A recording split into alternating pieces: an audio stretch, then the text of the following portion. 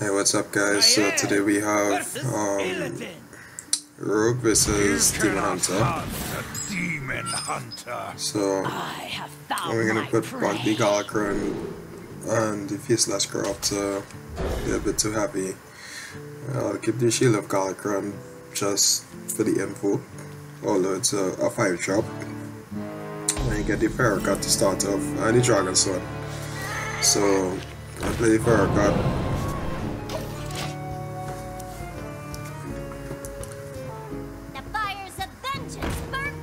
So I'll probably just hear about clear the board. And it's really important to keep this board clear with the Demon Hunter because you know essentially it's gonna be going at my face so I just need to make sure and keep the board clear. Um, mitigate as much damage as possible so that you know I just don't straight up die because it, it, it's it's so crazy how Demon Hunter can do so much damage, especially with the Skull of Gul'dan, so um, there I go, I continue to clear the board.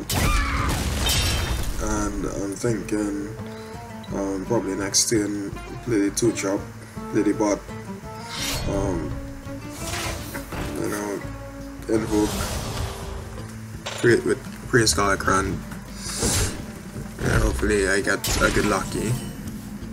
And you know ideally um, the taunt would be the best one but um, I got the Ethereal Lackey so let's see what spell we got. So I'm thinking I'm thinking Vendetta to keep the board clear or maybe Clever Disguise but even if I take the Vendetta I don't have any I don't have any cards from another class to make it zero and 4 mana is, is really hefty you know, but I take it anyway in the hopes that maybe if I play Dragon Horde, I could probably get like a legendary from another class. So it plays Eye Beam, and it comes back, you know, he, could make like a pretty easy clear. Yeah, um, I was hoping that at least, you know, one would have survived so I could play Faceless Grab to next day maybe establish some tempo on the board, but you know, the board, so I'm, just gonna go to Shield of Galakrond.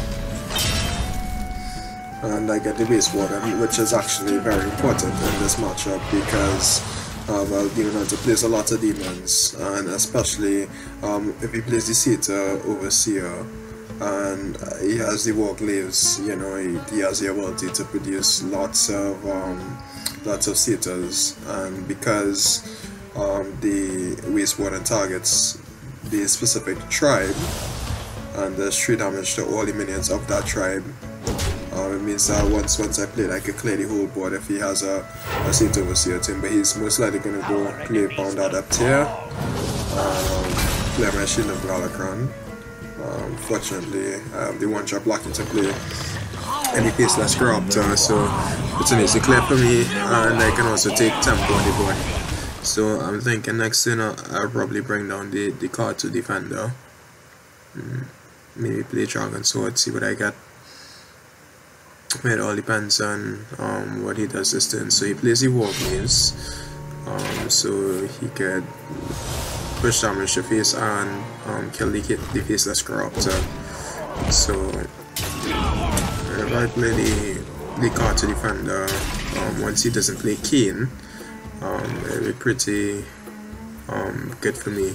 So I'm looking at these options from the Dragon's Hoard and I'm thinking um, the Kayn would be good to push damage. Um, the 6 drop would be good as uh, tones, but I mean I only have one tone minion in my hand so it's not really that beneficial. So I choose the Malygos um, Dragon aspect. So I'm hoping that um, because I have the Dragon Queen Alexstrasza, it's as active, so I'm hoping that I could actually get like a pretty good spell. Um, maybe the upgraded Flame Strike or even the Fireball. But I guess when the time comes, we'll see when we play it. Um, so there he goes with this color cooldown. So this is where you know I really have to worry because if he gets like a crazy turn with Altruis, it's it's it usually you know destroys the board. You know it's really good for tempo on his side. But also I since I took the Malygos, uh, my Vendetta is also Nor Zero, so if he brings the Altruis like a clear, I mean I also had the Waste Warden, so that's not much I'm gonna see.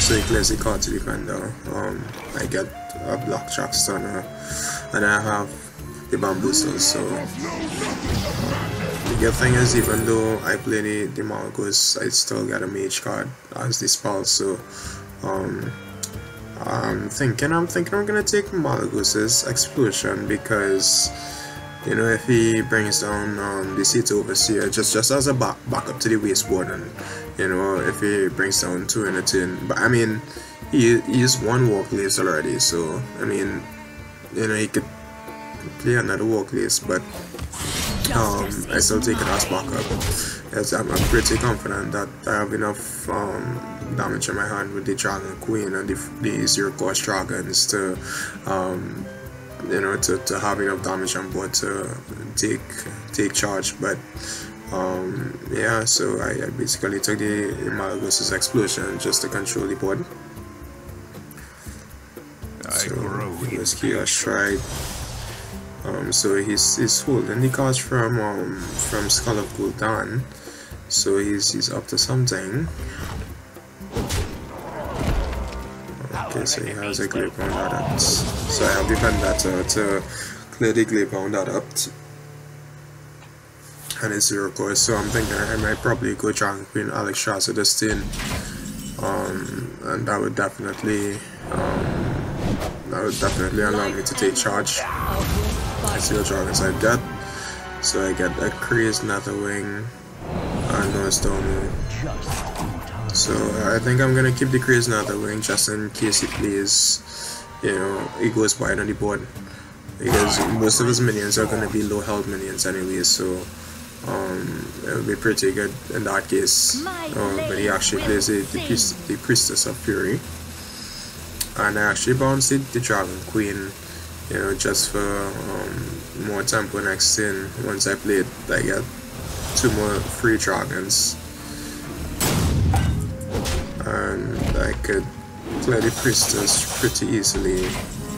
I'm thinking, and actually, yeah, so. I decided to use the. And now I just have tempo on board. I mean, unless he deals with this next turn, he's obviously going to be dead.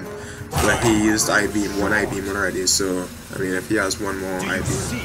And there goes the Altruis, so, um, with the amount of um, discounted cards from this of Gul'dan, you know, he could actually be able to clear this board. But actually, the positioning of the cards in his hand is pretty bad, so um, he wasn't able to um, make a full clear and um, I mean he gives up you? Know if if those cards came in in a different order it would have been a different story. If you enjoyed the video please like and subscribe and comment below on your thoughts on what you'd like to see next. Thanks for watching